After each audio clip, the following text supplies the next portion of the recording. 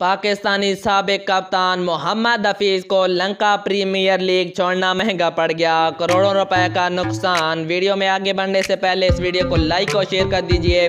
और अगर हमारे चैनल पर नए हैं तो सब्सक्राइब के बटन को प्रेस करके इस चैनल को सब्सक्राइब कीजिए।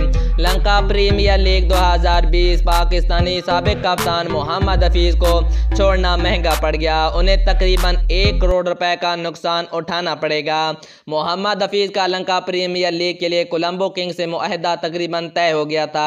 मुंतजमीन दस्तबरदार होने वाले जनूबी अफ्रीकी स्टार फाफ डुप्लसी की जगह इनसे रबता किया और ऑलराउंडर को तकरीबन एक करोड़ पाकिस्तानी रुपए के मुसावी रकम मिलती।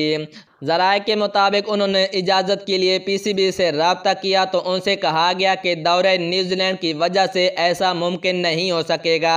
वहाँ करंतना का दौरानिया गुजारना ज़रूरी है।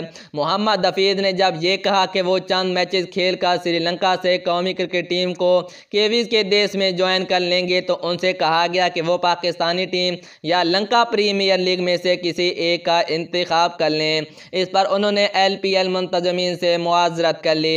दिलचस्प बात यह है कि मोहम्मद हफीज़ पीसीबी के सेंट्रल कॉन्ट्रैक्ट में शामिल नहीं। दौरा इंग्लैंड में ग्रीन शॉस की नुमाइंदगी पर उन्होंने सी कैटेगरी के हामिल क्रिकेटर के बराबर दो लाख दो हज़ार नौ सौ पचास रुपये फ़ी मैच अदायगी हुई। उन्होंने तीन टी ट्वेंटी मैच में एक सौ पचपन की औसत से इतने ही रन बनाकर player of the series award अपने नाम किया। पहला मैच बारिश की नज़र होने के बाद मोहम्मद हफीज़ ने दूसरे मैच में उनहत्तर रन की इनिंग खेली, जबकि तीसरे मुकाबले में नाकाब काबिल शका छियासी रन बनाकर ग्रीन शार्स को पाँच रन से फतह में अहम किरदार अदा किया। इस दौरान उन्हें कैरिबियन लीग से अपना मुआदा ख़त्म करने की वजह से तकरीबन सवा करोड़ रुपए गिनवाना पड़े थे।